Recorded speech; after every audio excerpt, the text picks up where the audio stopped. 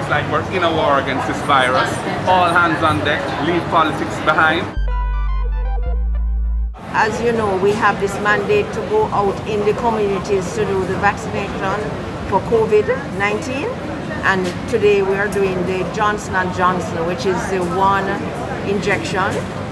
And it is loved by a lot of people, especially the men who don't like needles. Because the Johnson & Johnson is just one e-needle. And they're enjoying it. How has the turnout been? The turnout is slow, but as any other community intervention, I guess we just have to wait and see if more people will be mobilized later. We have organized with the Ministry of Health two um, vaccination centers in the constituency today.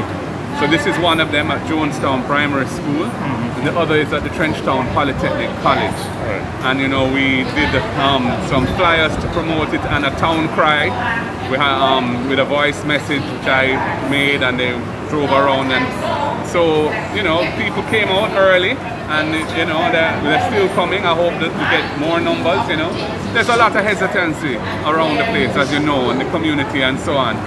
So, but I feel the more people who get vaccinated in the community, it will encourage others. So these people are, you know, very. I'm very, very pleased um, right. that they are here and have taken the um, bold step to get vaccinated, and uh, you know, and uh, over Trench Town College, I believe we'll have a good turnout there as well. So you know, it's a start. I don't think this should be a one-time thing. I hope we can repeat this fairly reg regularly because I'm sure as time passes, demand is going to continue to grow. And I think people like to be able to do it in their community because they don't have to spend the money on taxi. And when they come, they don't have a long, long waiting in a big crowd, you know. Yeah. So I think that is a better system. We've been calling for it. And I reached out to the government from about mid-August to ask them if we could do this and you know they kept saying yes but nothing was happening so I eventually I reached out to McKenzie because uh, Minister McKenzie they had already done you know as usual the first place to get done was West Kingston that's Trench Town and Denham Town. But he's my neighbor and we have a good cordial relationship so I reached out to him and said well we must be next then. And um, he said yes he would arrange. So here we are today.